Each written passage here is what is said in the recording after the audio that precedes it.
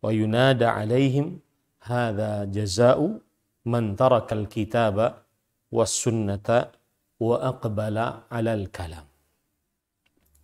Yang artinya hukum ku terhadap ilmu kalam atau orang-orang yang sibuk dengan ilmu kalam adalah dipukuli, dicambuki dengan pelepah kurma dan juga dengan sendal-sendal. Kemudian dinaikkan ke atas onta, lalu diarak berkeliling kampung-kampung dan kabilah-kabilah. Kemudian disuarakan inilah balasan bagi orang yang meninggalkan Al-Quran dan Sunnah dan mempelajari ilmu kalam. Kemudian ahibati hafizakumullah taala itulah beberapa perkataan Imam Asy-Syafi'i rahimahullah tentang ilmu kalam. Matiin aja YouTube-nya. YouTube-nya. Baik. Kemudian di halaman ke-142 di paragraf sebelum terakhir kita berbicara atau membaca perkataan penulis. Penulis mengatakan waqad hawala ba'du ahli kalam wa ba'du man ta'athara bihim ta'wila kalam syafii rahimahullah as-sabiq hatta yakhruju bima hum alaihi min bid'in min dhammi syafi'i rahimahullah li hafsin al-fard wa minhumul bayhaqi dan telah berusaha sebagian ulama-ulama ahli kalam dan sebagian ulama-ulama yang terpengaruh dengan ilmu kalam. Mereka berusaha menafsirkan atau mentakwilkan perkataan Imam Asy-Syafi'i rahimahullahu taala. Sampai mereka bisa keluar dari apa yang diyakini oleh mereka berupa keyakinan-keyakinan bid'ah dari yang dicela oleh Imam Asy-Syafi'i rahimahullah terhadap ilmu kalam dan para ulamanya. Di antaranya Imam Al-Baihaqi. Maksud dari perkataan ini adalah bahwa sebagian ulama ahli kalam atau sebagian ulama-ulama yang me, atau terpengaruh dengan ilmu kalam. Mereka berusaha menafsiri perkataan Imam Asy-Syafi'i rahimahullah. Mereka berusaha menafsiri perkataan Imam Asy-Syafi'i rahimahullah tentang pencelaan Imam Asy-Syafi'i terhadap ilmu kalam dan ulama-ulama yang sibuk dengan ilmu kalam. Sehingga mereka bisa mempertahankan bid'ahnya di dalam ilmu kalam. Jadi maksud mereka, oh maksud perkataan Imam Syafi'i itu seperti ini tuh.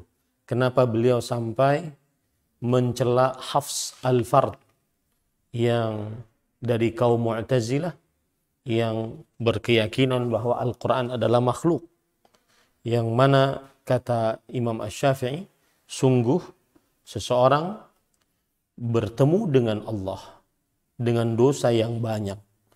Seperti dosa-dosa seperti e, gunung-gunung tihamah dosanya lebih baik dibandingkan bertemu dengan Allah dengan keyakinan hafs al-fard yaitu meyakini Al-Qur'an adalah makhluk. Ini lebih baik dibandingkan dia meyakini Al-Qur'an adalah makhluk kecuali dosa kesyirikan. Nah, sebagian ulama ingin mentakwil perkataan Imam Syafi'i tersebut. Sehingga mereka bisa tetap memperjuangkan ilmu kalam mereka. Dan juga keyakinan mereka di dalam ilmu kalam tersebut. Ini ini yang harus diperhatikan oleh sebagian para penuntut ilmu. Di antaranya Imam Al-Baihaqi Imam Al-Baihaqi beliau setelah meriwayatkan pengkafiran Imam Asy-Syafi'i rahimahullah terhadap Hafs al-Fard maka Imam Al-Baihaqi berkata wa hadhihi riwayat tadullu ala muradihi bima atlaqa an utliqa anhu fima taqaddam. Yani fi dhammil kalam ala al-umum wa fima lam yadhkurha hahuna. Kata Imam Al-Baihaqi yang ingin menafsiri perkataan Imam Asy-Syafi'i tentang celaan Imam Asy-Syafi'i terhadap ilmu kalam yaitu bahwa ini perkataan-perkataan beliau ini menunjukkan uh, maksud beliau dari apa yang umum tentang pencelaan ilmu kalam. Ya, umum tentang pencelaan ilmu kalam.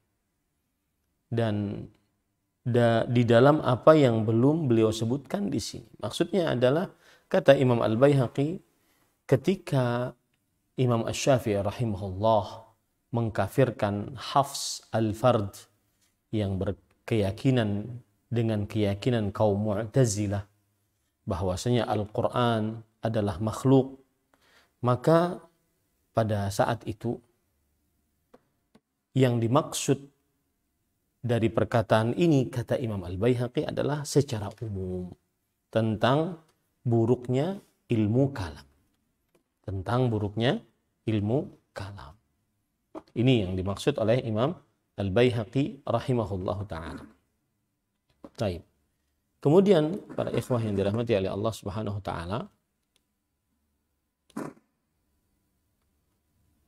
Perhatikan baik-baik.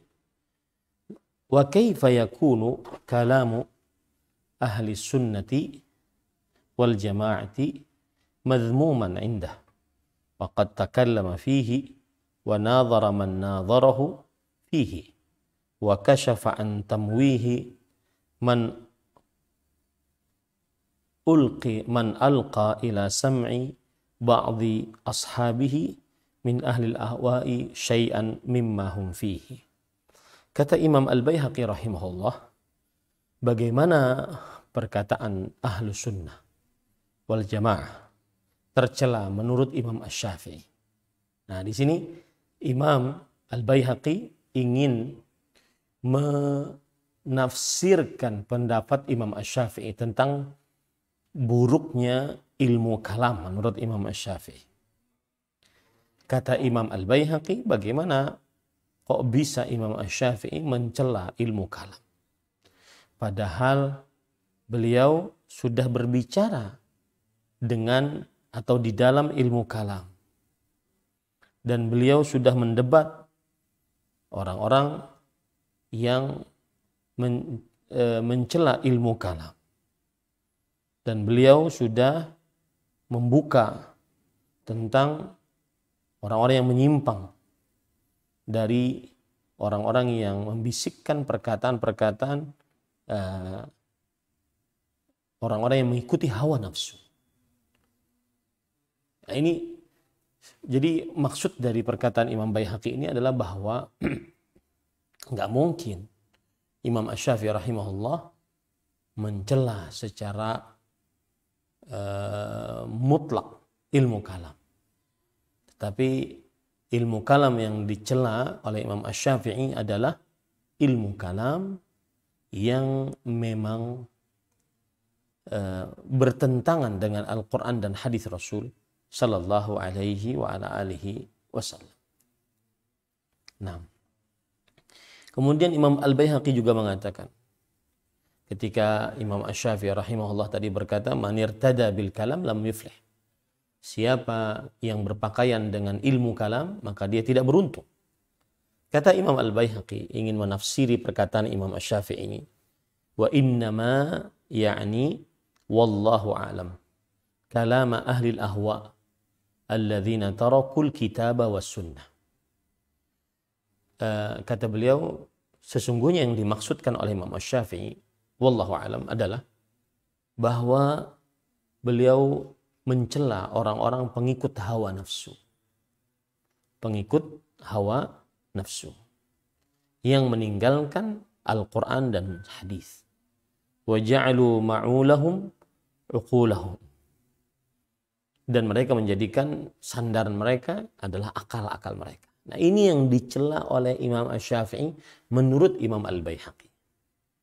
Wa akhadhu fi taswiyatil kitabi alaiha hina humilati sunnatu ilaihim biziyadati bayanin linaqdi aqawilihim uttuhimu ruwatuha wa a'radu anha ittahamu ruwatuha au wa a'radu anha dan kata Imam Al-Baihaqi rahimahullah bahwa yang dimaksud pencelaan Imam Syafi'i terhadap ilmu kalam adalah orang-orang yang menjadikan sandaran mereka akal mereka. Dan orang-orang yang menyamakan antara Al-Quran dengan akal-akal mereka. Ketika mereka dibawakan sunnah kepada mereka yang menambah dari apa yang ada dalam Al-Quran, kemudian sunnah tersebut me, menolak atau membantah pendapat-pendapat mereka, maka mereka uh, maka ulama-ulama mereka mencela Al-Quran, mencela hadis Rasulullah SAW dan mencela sunnah-sunnah SAW, berpaling dari sunnah-sunnah Rasulullah SAW. Ini yang dimaksud oleh Imam Ash-Syafi'i rahimahullah kata Imam Al-Baihaqi. Jadi maksudnya gini, Imam Ash-Syafi'i saat rahimahullah saat mengatakan manir tada bi ilmil kalam lam yuflih siapa yang berpakaian dengan ilmu kalam maka dia tidak akan beruntung. Ini maksudnya adalah orang-orang yang lebih mendahulukan akal dibandingkan eh, apa namanya Al-Quran dan hadis Rasul Sallallahu Alaihi wa ala alihi Wasallam. Kemudian orang-orang yang menjadikan akal mereka sebagai sandaran. Itu yang dicela oleh Imam Syafi'i. Dan orang-orang yang menyamakan Al-Quran dengan dengan uh, akal mereka. Orang-orang yang menolak hadis-hadis Rasul karena tidak sesuai dengan akal mereka. Nah, itu yang dimaksud oleh uh, Imam Ash-Syafi'i menurut Imam Al-Baihaqi rahimahullah ta'ala. Karena memang Imam Al-Baihaqi rahimahullah uh, sedikit terpengaruh dengan ilmu kalam. Ya, sedikit terpengaruh dengan ilmu kalam. Kemudian penulis juga mengatakan qala fa amma ahlus sunnati fa madhhabuhum fil usuli mabniun 'ala al-kitab was sunnah wa innama akhadha man akhadha minhum fil aqli ibtalan limadhhabi man za'ama annahu ghairu mustaqimin 'ala al-aql. Nah, ini juga penjelasan dari Imam Al-Baihaqi tentang bolehnya ilmu kalam. Kata beliau, ahlus sunnati wal jamaah, mereka pendapatnya di dalam pokok-pokok akidah dibangun di atas Al-Quran dan hadis. Dan ada sebagian yang mengambil di dalam akal, ini fungsinya adalah untuk membantah, membatalkan pendapat orang yang menolak Al-Quran dan hadis karena mereka menyangka ini tidak lurus dengan akal. Nah, jadi begitu. Jadi maksud Imam Al-Baihaqi itu begitu bahwa Imam Ash-Syafi'i mencela ilmu kalam maksudnya adalah orang-orang yang dengan ilmu kalam mereka meninggalkan Al-Quran dan hadis. Nah, adapun dari ahlu sunnah menurut menurut Imam Al Baihaqi dari ahlu sunnah yang menggunakan akal ya. Bukan karena mereka mengikuti hawa nafsu tetapi karena mereka sedang membantah orang-orang yang lebih mengedepankan al-qal dibandingkan Al-Quran dan Sunnah. Yang berpendapat bahwa apabila ada ayat Al-Quran atau hadis Rasul Shallallahu Alaihi Wasallam yang tidak sesuai dengan Al-Quran dan Sunnah maka lebih didahulukan akal. Nah ini yang ingin dibantah oleh Imam Ash-Syafi'i rahimahullah menurut Imam Al-Baihaqi. Nah, begitu ya. Baik. Kita baca lagi. Wa dzakara fi mawdhi'in akhara sababan آخر في ذم الشافعي لعلم الكلام فقال فحين شاهد الشافعي هذا وأمثال ذلك من تسلط المعتزلة على الدولة وإجبارهم الناس لإعتناق مذهبهم وأحس ببعض ما كان وراء ذلك مع كراهيته وكراهية أمثاله من أهل الورع الدخول على السلاطين واختلاط بهم استحب لأصحابه tarkul khawdi fihi atau istahabba li ashabi tarkal khawdi fihi. Kemudian kata Imam Al-Baihaqi di tempat yang lain, di bagian yang lain, sebab mengapa Imam Ash-Syafi'i rahimahullah mencela ilmu kalam. Karena kata Imam Al-Baihaqi, ketika Imam Ash-Syafi'i menyaksikan bahwa uh, orang-orang Mu'tazilah dekat dengan negara dan mereka memaksa manusia untuk berkeyakinan seperti keyakinan mereka. Dan mereka mengira apa Imam Ash-Syafi'i merasa bahwasanya uh, orang-orang Mu'tazilah ini sangat berbahaya terhadap para para penguasa. Maka Imam Ash-Syafi'i rahimahullah akhirnya mencela ilmu kalam agar tidak masuk ke dalam ilmu kalam dari para pengikut Imam Syafi'i agar para pengikut Imam Syafi'i tidak masuk ke dalam ilmu kalam. Kenapa? Karena dikhawatirkan nanti berbahaya yaitu bisa berurusan dengan penguasa setempat.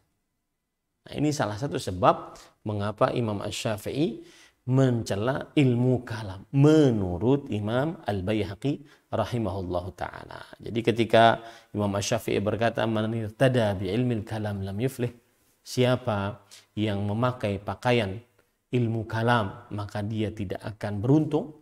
Ini maksudnya adalah karena di waktu itu para kaum Mu'tazilah mereka bisa menjilat para pemerintah mereka bisa meng, uh, memasukkan kepada pemerintah uh, keyakinan keyakinan Mu'tazilah mereka yang lebih mengedepankan akal dibandingkan Al-Quran dan hadis.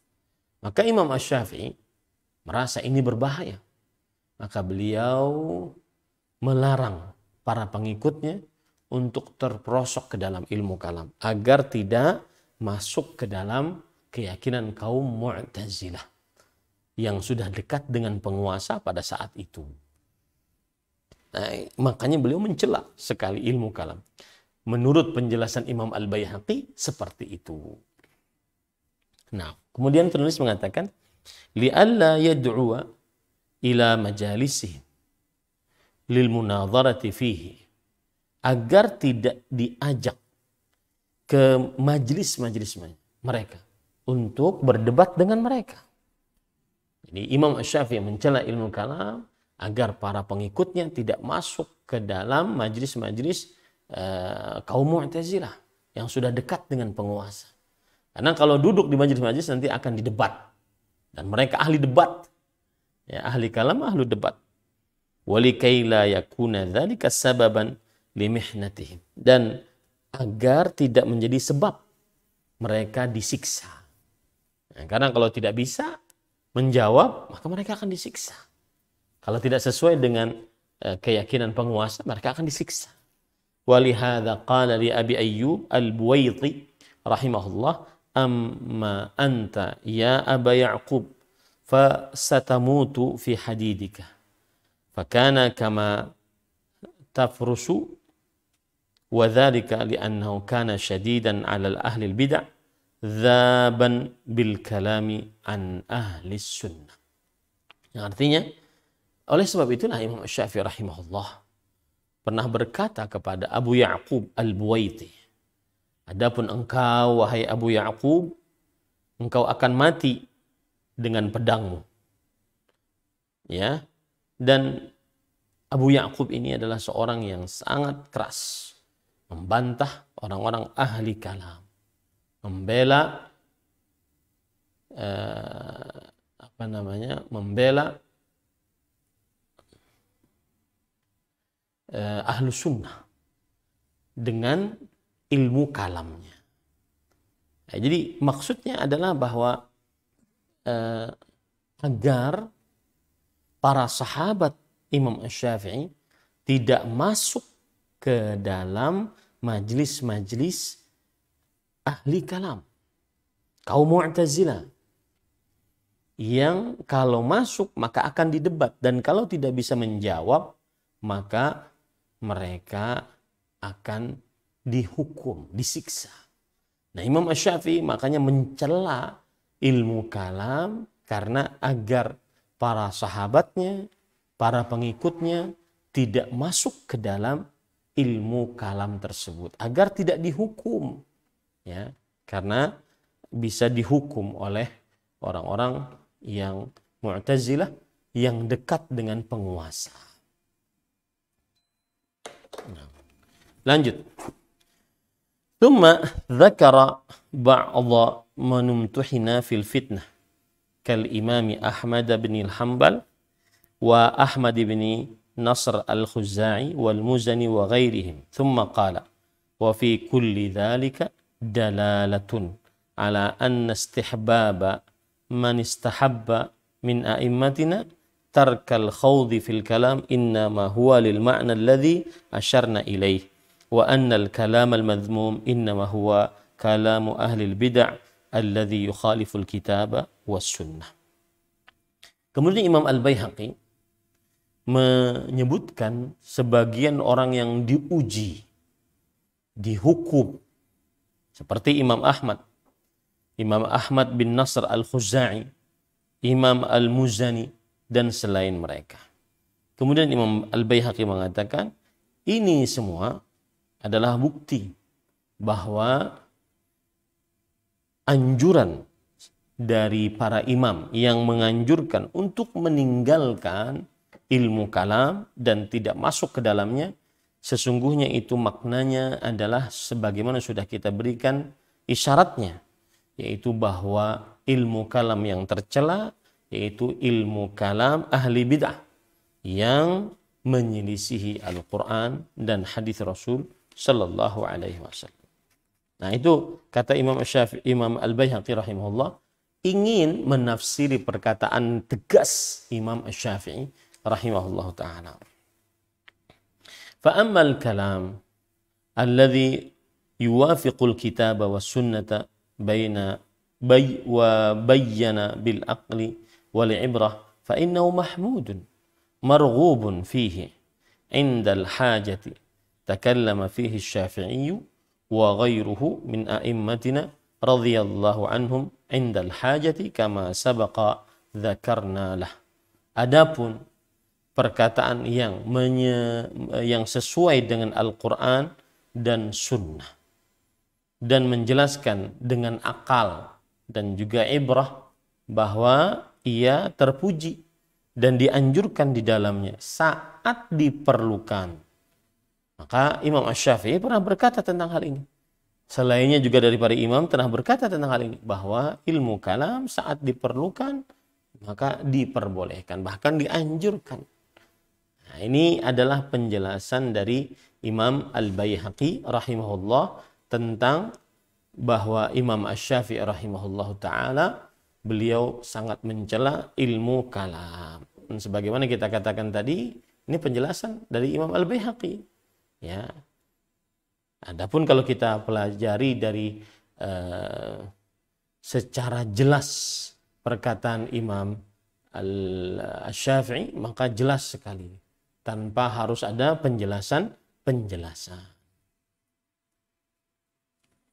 Nah, kemudian ahibatil muslimun afanillah wa Penulis kemudian mengatakan hadza mulakhasu kalamil Baihaqi wa huwa yaduru haulal haula amrain.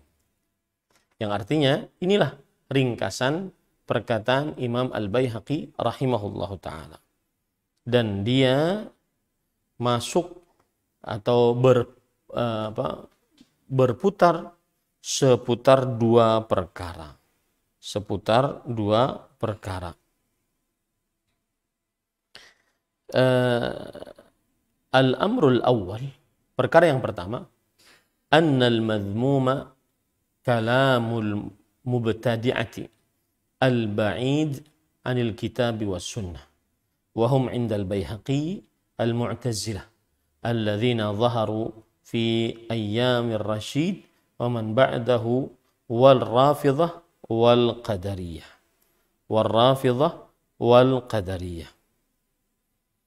adapun perkataan yang sesuai dengan Al-Qur'an dan Sunnah eh afan adapun perkara yang pertama yang dijelaskan oleh Imam Al-Baihaqi bahwa yang tercela dari perkataan ahli bid'ah yang jauh dari Al-Quran dan Sunnah dan mereka menurut Imam Al-Baihaqi adalah kaum Mu'tazilah yang nampak pada eh, pada zaman pemerintahan Harun ar-Rashid dan setelahnya dari Daulah Abbasiyah. Kemudian eh, kaum Syiah Rafidah dan kaum Qadariyah. Yaitu perkataan yang tercela dari ilmu kalam adalah perkataan ahli bid'ah yang jauh dari Al-Quran dan Sunnah Rasul Sallallahu Alaihi Wasallam. Dan mereka adalah kaum Mu'tazilah dan juga orang-orang Syiah Rafidah dan Qadariyah.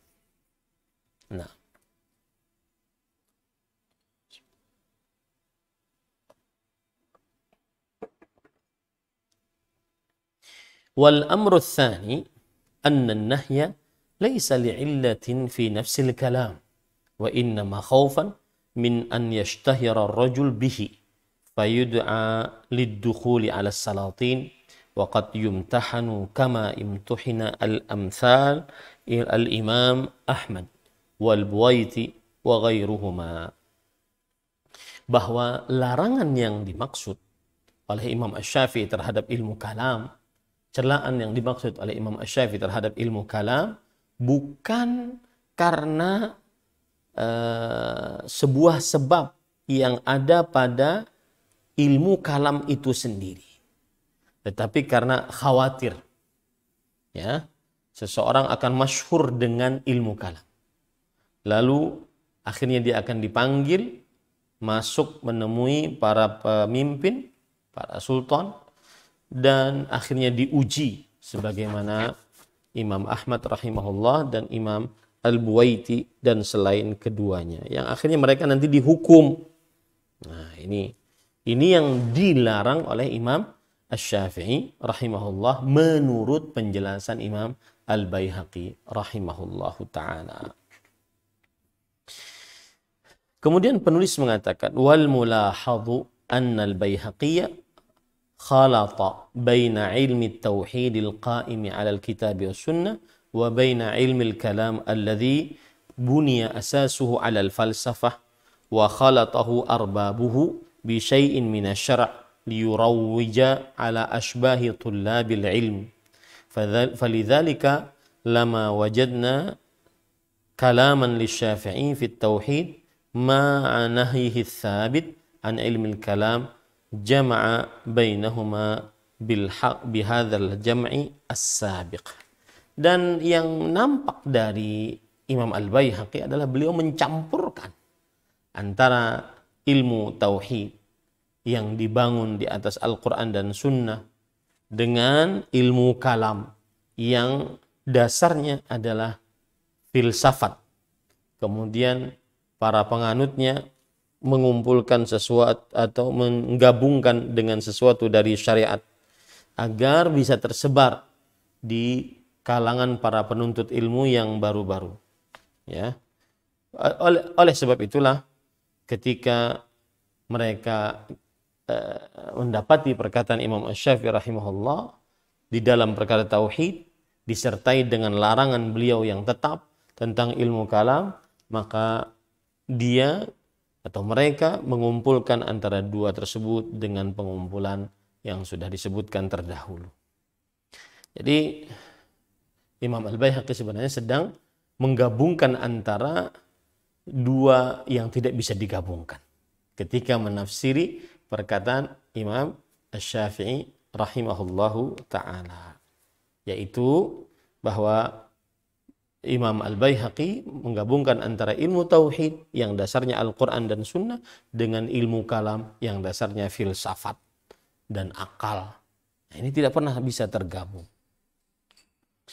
Nah, wa dzakara razi kalaman kathiran fi hadzal mawdu' wa jama'a ba'd aqwali syafii al-muta'aridati fi wa hiya كيف يتكلم في التوحيد والأصول ويجادل ويدافع ثم نراه يذم الكلام وأهله لأن الرازي لا يرى طريقا إلى الله وتوحيده إلا معرفة الأنبياء إلا بالطرق التي رتبها أهل الكلام فحاول الجمع بينها. dan Ar-Razi, Fakhruddin Ar-Razi menyebutkan perkataan yang banyak di dalam bab ini atau tentang perkara ini. Dan Razi mengumpulkan antara sebagian dari perkataan Imam Asy-Syafi'i rahimahullah yang eh, apa namanya berseberangan di dalam pendapatnya. Yaitu bagaimana beliau berbicara tentang tauhid, tentang pokok-pokok ajaran dan beliau mendebat, beliau me, apa namanya me, membela, kemudian kita dapati beliau mencela ilmu kalam dan pelaku-pelakunya. Ya. Ini ar, karena yang namanya Razi, Imam Ar-Razi tidak melihat jalan apa pun kepada Allah dan kepada tauhid Allah dan kepada pengenalan kepada para nabi kecuali dengan jalan-jalan yang sudah diatur oleh ilmu kalam. Oleh karena itulah Ar-Razi mengumpulkan antara perkataan Imam Ash-Syafi'i dan juga perkataan ahli kalam. Artinya Imam Ash-Syafi'i eh, perkataannya yang sangat tegas di dalam ilmu kalam, beliau ingin eh, carikan solusi atau penjelasan tentang ketegasan tersebut. Ya, jadi ya, hampir sama.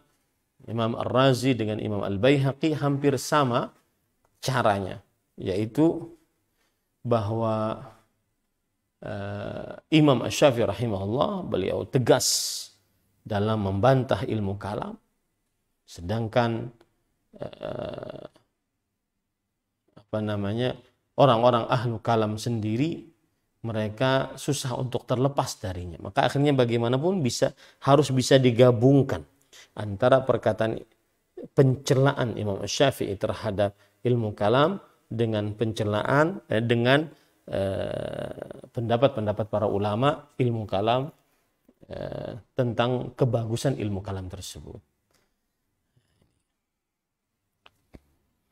Nah, jadi intinya para ikhwan yang dirahmati oleh Allah Subhanahu wa taala uh, Imam Asy-Syafi'i secara lahiriah mencela ilmu kalam.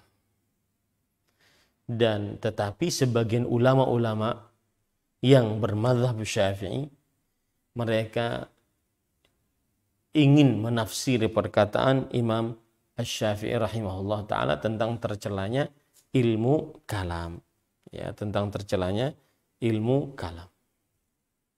Nah. Kemudian ahibatul muslimun afanillah wa iyyakum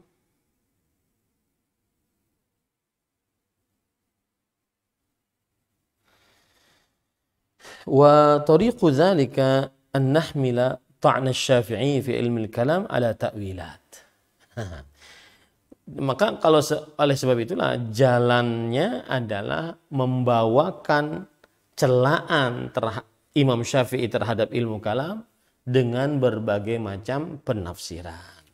Jadi secara zahir Imam Syafi'i mencela ilmu kalam. Tetapi para ulama kemudian karena mereka terpengaruh dengan ilmu kalam tetapi mereka juga bermadhab syafi'i maka mereka harus menggabungkan perkataan Imam Syafi'i yang mencela ilmu kalam dengan bagaimana ilmu kalam tersebut tidak tercela gitu ya. Bagaimana ilmu kalam tersebut tidak tidak tercela. Maka mereka menafsiri dengan beberapa tafsiran. At-ta'wilul awal penafsiran yang pertama. Annal fitan al-azimata waqa'at fi dzalika zaman bisababi khawdin nas fi mas'alatil Qur'an. Bahwa Eh, keadaan genting yang besar terjadi pada waktu itu disebabkan orang-orang masuk di dalam permasalahan Al-Quran. Wa ahlul bid'ah ista'anu bis sultan wa qaharu ahlal haq wa lam yaltafitu ila dalailil muhaqqiqin. Dan para ahli bid'ah mereka minta pertolongan dengan penguasa dan mereka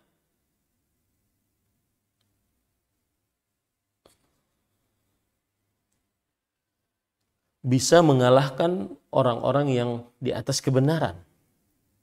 Walam yaltafitu ila dalailil muhaqqiqin dan mereka tidak memeriksa apa yang ditunjuki oleh orang-orang ulama-ulama peneliti.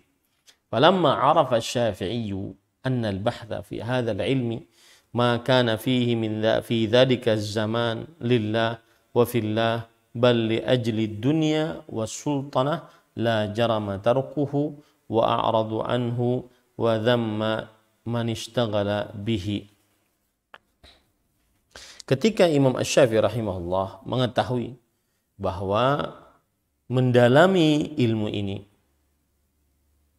eh, bukan karena Allah dan bukan karena ingin memperjuangkan agama Allah tetapi untuk dunia dan untuk kekuasaan maka tidak diayalkan lagi, wajib meninggalkannya. Dan wajib berpa, berpaling darinya. Dan tercela orang yang menyibukkan diri dengannya. Nah, ini maksudnya kata Imam Ar-Razi rahimahullah. Bahwa Imam Syafi'i ketika mencela ilmu kalam maksudnya adalah agar seseorang tidak mencari dunia dengan agama, tidak mencari jabatan dengan agama. Nah, Makanya dilarang oleh Imam Ash-Syafi'i rahimahullah untuk terperosok ke dalam ilmu kalama. Jadi bukan karena permasalahan akidahnya, tapi permasalahan politiknya, begitulah. E, intinya begitu ya, permasalahan akidahnya, tapi e, permasalahan politiknya. At-ta'wilus أن الذم العظيم المنقول عن الشافعي للكلام يجب صرفه إلى الكلام الذي كان أهل البدع ينصرونه ويعولون عليه وهذا عين كلام البيهقي السابق Yang kedua adalah bahwa celaan yang sangat besar yang dinukilkan dari Imam Ash-Syafi'i terhadap ilmu kalam ini wajib dipalingkan kepada perkataan dari ahlu bid'ah yang membela perbuatan bid'ah tersebut dan menjadi dijadikan sandaran terhadap eh, terhadap keyakinan tersebut dan inilah juga perkataan Imam Al-Baihaqi yang sudah kita baca tadi. Jadi penafsiran yang kedua kenapa Imam Syafi'i mencela ilmu kalam disebabkan karena adalah uh, ilmu kalam yang dimiliki oleh uh, siapa? Oleh ahli bid'ah. Ya, yang mana mereka meninggalkan Al-Quran dan hadis dan bersandar hanya kepada akal. ثم زاد الرازي في تأويلا ثالثا فقال Lalu Imam Ar-Razi mentakwilkan perkataan Imam Asy-Syafi'i tentang pencelaan terhadap ilmu kalam yaitu dengan pentakwilan dan pentafsiran yang ketiga Imam Ar-Razi berkata la'allahu kana min madhhabihi Syafi'i anna al-iktifa bid-dalail al-madhkurah fil Qur'ani wajibun wa anna az-ziyadata 'alayha wa at-tawaghul fil madhayiq allati la sabila al-aqli ila al-khawdi fiha ghairu jaiz. Dan mungkin dari pendapat Imam Asy-Syafi'i adalah bahwa mencukupkan dengan dalil-dalil yang disebutkan dalam Al-Quran dan hadis adalah hukumnya wajib dan bahwasanya tambahan atas hukuman tersebut dan juga sibuk di dalam kesempitan-sempitan ilmu kalam yang mana akal tidak bisa masuk ke dalamnya, maka ini yang tidak diperbolehkan. Nah ini pendapat Imam Ar-Razi untuk menafsiri pencelaan perkataan Imam Syafi'i dalam pencelaan ilmu kalam. Kata Imam Ar-Razi bahwasanya Imam Syafi'i menginginkan kita agar sibuk hanya dengan Al-Quran dan hadis dan tidak sibuk dengan sesuatu yang lain-lainnya. Karena jika sibuk dengan sesuatu yang lain-lainnya maka ini yang tidak diperbolehkan. Falihada as-sabab balagha fi dhammi man hawala al-khawda fi tilka daqa'iq. Oleh sebab itulah inilah sebab uh, falihada sababu balagha. Uh, oleh karena sebab inilah Imam Asy-Syafi'i rahimahullah uh, beliau sangat tegas dalam mencela orang-orang yang ingin terperosok ke dalam ilmu kalam tersebut. Kenapa para ikhwah? Karena berarti dia meninggalkan pendalilan dari Al-Quran. Ya, dia meninggalkan pendalilan dari Al-Quran. Nah. Thumma bada'a bidhikri adillatihi ala hadha ta'wili wa dzakara muhajjata Ibrahim. Kemudian Imam Ar-Razi memulai menyebutkan dalil-dalil atas penafsiran perkataan Imam Syafi'i tersebut dan beliau menyebutkan cerita berbantahannya Nabi Ibrahim dengan kaumnya.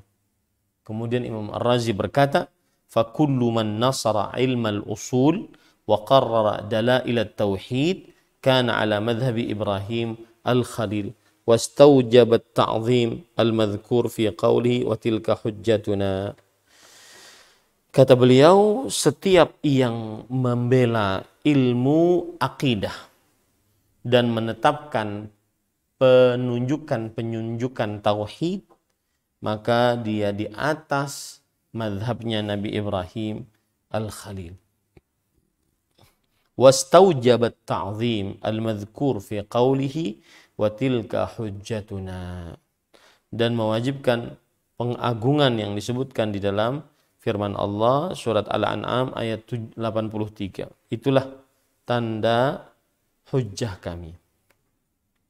Wa kullu man angkara ilmal usul wa asarra ala taqlidi wa mutaba'at al-aslafi wa mutaba'atil aslafi kana ala dinin azar walidi Ibrahim wa muttabi'an li tariqatihi fil jahli wad dalal. Dan setiap yang mengingkari ilmu dasar akidah kemudian tetap melakukan taklid dan mengikuti orang-orang yang terdahulu maka dia berarti di atas ajaran azar bapaknya Nabi Ibrahim ya dan mengikuti sunnah-sunnahnya di dalam kebodohan dan kesesatan. Taib. Mimman dhahaba hadha al-madhhab fi ta'wil kalam Syafi'i rahimahullah fi dhamil kalam Ibnu Asakir fa innahu qala fi tabyinihi wah panjang dan termasuk daripada orang yang atau ulama yang berpendapat seperti penafsiran Imam Syafi'i ini yaitu seperti penafsirannya Imam Al-Baihaqi, Imam Ar-Razi adalah Imam Ibnu Asakir. Jadi Imam Ibnu Asakir juga berpendapat seperti pendapatnya Imam Al-Baihaqi, Imam uh, uh, Imam uh, siapa tadi? Ar-Razi ya, yang menafsiri perkataan Imam Ash-Syafi'i tentang pencelaan terhadap ilmu kalam. Di antara ulama yang juga menafsir perkataan pencelaan terhadap uh, Imam Syafi'i terhadap ilmu kalam adalah Imam Ibnu Asakir di dalam penjelasannya. Nah. Fa in qila ghayatu ma tamdahuna bihi Abul Hasan Al-Asy'ari an tathabbatu annahu mutakallim wa tadulluna ala برسوم الجدل متوسم ولا فخر في ذلك عند العلماء من ذوي التسنن والاتباع لأنهم يرون أن من تشاغل بذلك من أهل الابتداء وقد حفظ من عن وقد حفظ عن غير واحد من علماء الإسلام عيب المتكلمين وذم الكلام. ولو لم يذمه غير الشافعي رحمه الله لكفى فإنه قد بالغ في ذمهم وأوضح حالهم. wa syafa wa uh, wa syafa. Wa antum tantasibuna ila madhhabihi fahal iqtadaitum fi dhalika bihi. Kata Imam uh, Ibnu Asakir mengatakan jika dikatakan puncak dari apa yang kalian puji adalah Abul Hasan Al-Asy'ari untuk kalian menetapkan bahwasanya beliau adalah ahli kalam dan menunjukkan dan kalian menunjukkan kepada kami bahwasanya beliau uh, menguasai ilmu-ilmu perdebatan. Ya, dan tidak ada kesombongan dalam hal itu menurut para ulama dari ulama-ulama yang mengikuti sunnah Rasul Shallallahu Alaihi Wasallam.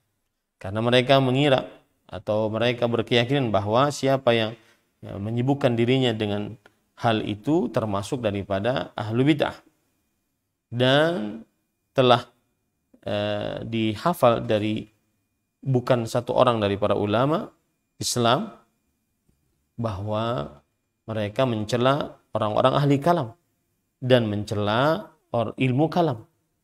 Kalau seandainya tidak ada yang mencela dari para ulama kecuali Imam Syafi'i rahimahullah taala maka sudah cukup.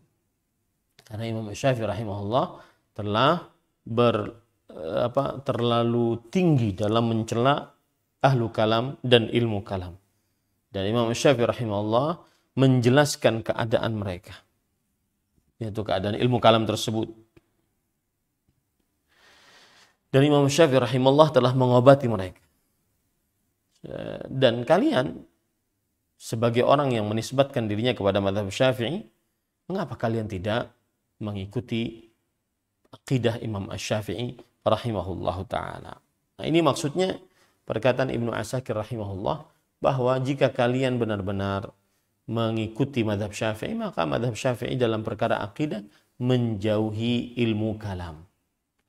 Ya, dalam perkara akidah, beliau menjauhi ilmu kalam. Kemudian mencela orang-orang yang sibuk dengan ilmu kalam. Nah, kalau kalian mengaku bermadhab Syafi'i, maka semestinya kalian mengikuti beliau juga mencela ilmu kalam, menjauhi ilmu kalam. Nah, kemudian selanjutnya, thumma bada'a yarwi ba'dha kalamis salaf wa minhum asy-Syafi'i fi dhamm al-kalam wa naqala al-Baihaqi nusus. وهو أنهم يريدون كلام أهل البدع أما أهل السنة فإنهم قلما يخوضون في الكلام حتى اضطروا إليه kemudian beliau memulai meriwayatkan sebagian perkataan para ulama salaf. Di antaranya Imam Syafi'i tentang pencelaan terhadap ilmu kalam. Dan Imam Ibnu Asakir menukilkan juga penafsiran Imam Al-Baihaqi terhadap perkataan-perkataan tersebut. Bahwasanya para ulama menginginkan dari e, mencela terhadap ilmu kalam adalah orang-orang yang sibuk dengan Eh, dengan bid'ahnya. Adapun ahlus sunnah maka mereka sangat sedikit yang terperosok ke dalam ilmu kalam kecuali dalam keadaan mereka terpaksa sekali. Kemudian Imam Ibnu Atsakir mengatakan huwa an yakuna al-muradu biha an yaqtasira ala ilmi al-kalam wa yatruku ta'allum al-fiqh alladhi yatawassalu bihi ila ma'rifati al-halal wal haram wa yarfudul amala bima umira bifi'lihi min syara'il Islam.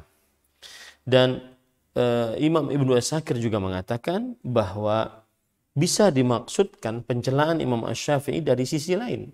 Pencelaan Imam Asy-Syafi'i terhadap ilmu ilmu kalam dari sisi lain, yaitu seseorang hanya mencukupkan diri dengan mempelajari ilmu kalam dan tidak mempelajari ilmu fikih yang dengannya dia akan mengetahui halal dan haram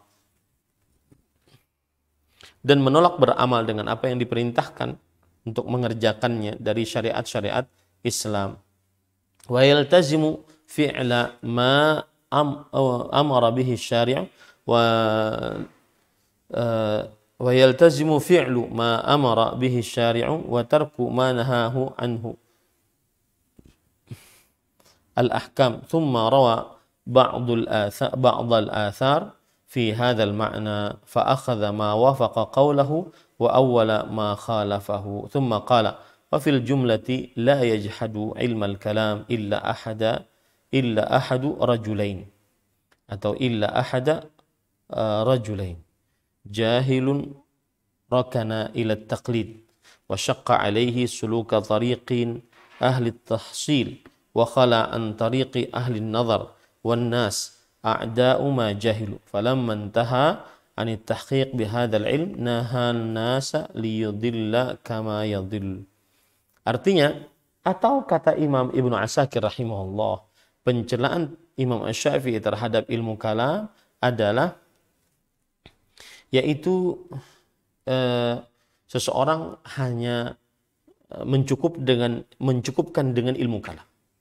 dan meninggalkan belajar ilmu fikih yang dengannya dia tahu mana yang halal dan mana yang haram. Dan pencelaan Imam Ash-Syafi'i juga di dalam ilmu kalam adalah orang-orang yang gara-gara ilmu kalam dia akhirnya tidak beramal lagi dengan amalan-amalan yang diperintahkan oleh syariat Islam.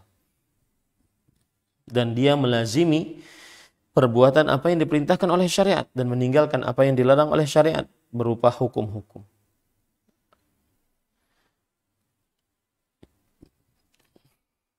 Kemudian setelah imam, setelah itu Imam Ibnu Asakir menyebutkan beberapa riwayat tentang yang berkaitan dengan pencelaan terhadap ilmu kalam.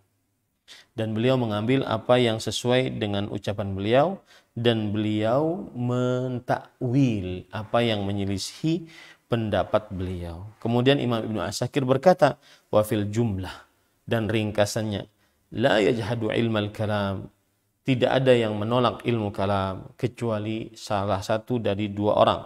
Yaitu yang pertama adalah seorang yang bodoh yang senantiasa uh, condong kepada taklid.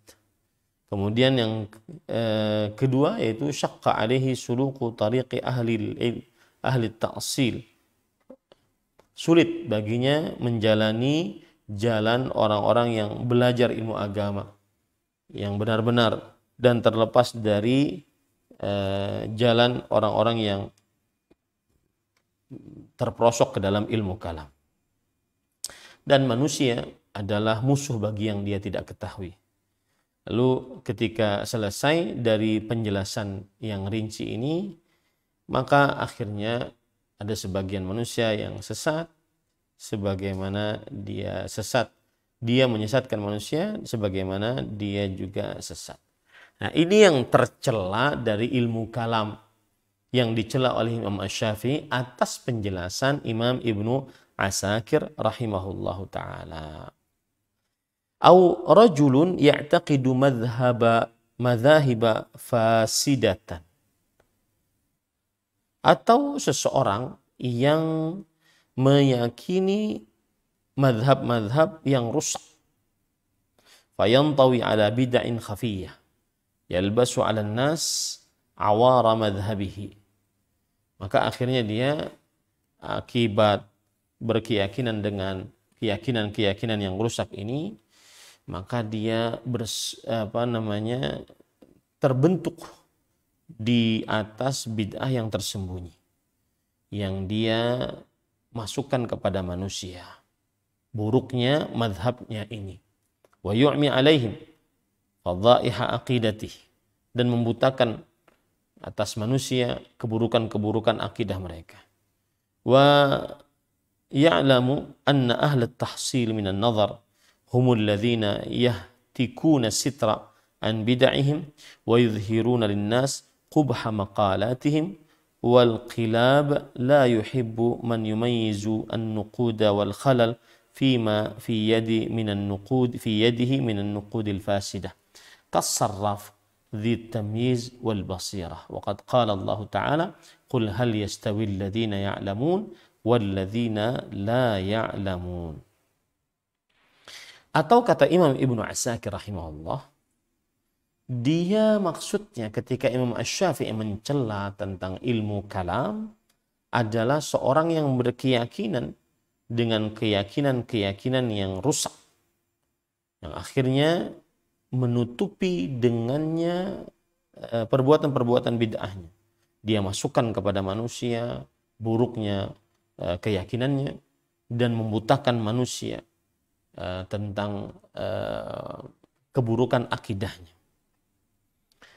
Intinya para ikhwan yang dirahmati oleh Allah Subhanahu wa taala, Imam Asy-Syafi'i rahimahullah ketika mencela ilmu kalam beliau ingin agar orang paham betul eh, makna dari ilmu kalam.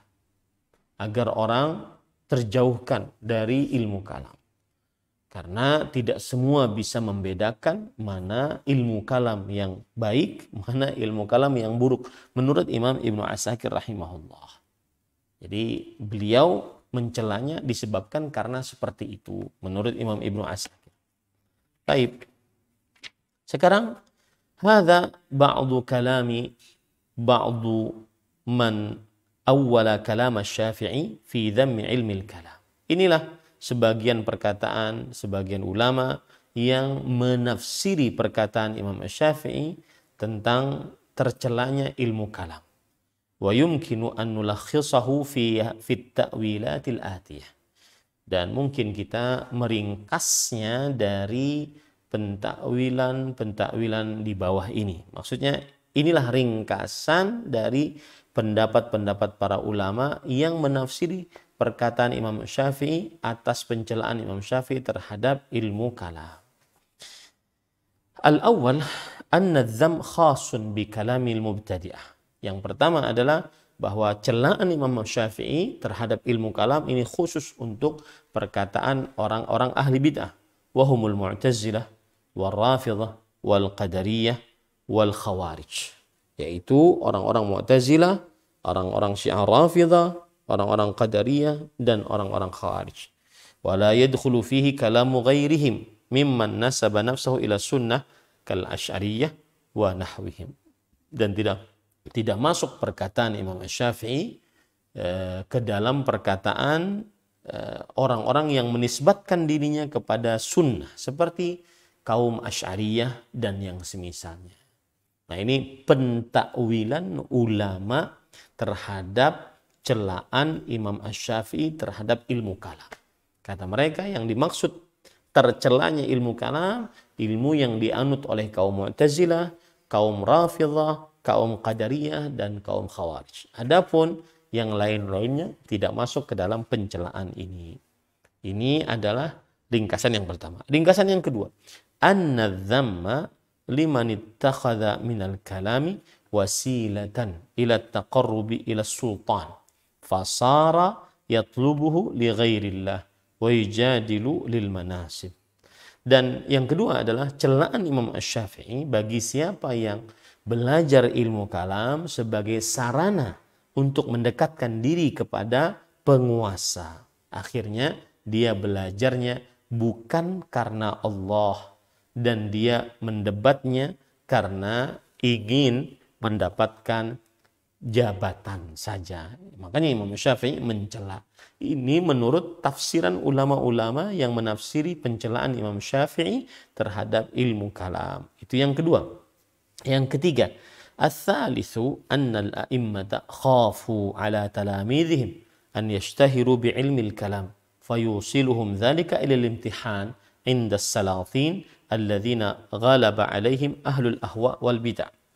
Bahwa para imam mereka khawatir terhadap murid-murid mereka. Yang mana murid-murid mereka kalau sibuk dengan ilmu kalam, mereka masyhur dengan ilmu kalam tersebut. Dan ini akhirnya menyebabkan mereka nanti akan diuji oleh penguasa. Ya, yang mana penguasa pada waktu itu dikuasai dan dijilat oleh ahli bid'ah dan ahli orang-orang yang mengikuti hawa nafsu seperti kaum Mu'tazilah, kaum Rafidah, kaum Qadariyah dan seterusnya. Ini adalah tafsiran yang ketiga dari sebagian ulama yang menafsiri perkataan Imam Ash-Syafi tentang pencelaan terhadap ilmu kalam. Yang keempat, an yakuna al-muradu an yaktasira ala ilmi al-kalam wa yatruka ta'allum al-fiqh wa huwa ilmu al-halal wal haram fala yaltazimu bima amara Allah bih wa la yatruku ma nahahu an ma nahahu Allah an. Uh, yang dimaksud dari pencelaan Imam Syafi'i terhadap ilmu kalam adalah orang yang hanya belajar ilmu kalam dan tidak mau belajar ilmu fikih. Akhirnya dia tidak tahu halal dan haram. Akhirnya dia tidak mengerjakan yang diwajibkan oleh Allah dan tidak menjauhi yang dilarang oleh Allah. Karena tidak tahu akhirnya sibuk hanya dengan ilmu kalam saja. Makanya Imam Syafi'i rahimahullah mencela ilmu kalam. E, penafsiran yang kelima dari penafsiran para ulama tentang ilmu kalam adalah yaitu anna dhamma khasun biman hawala dukhul fil madaiqi allati la qudrata lil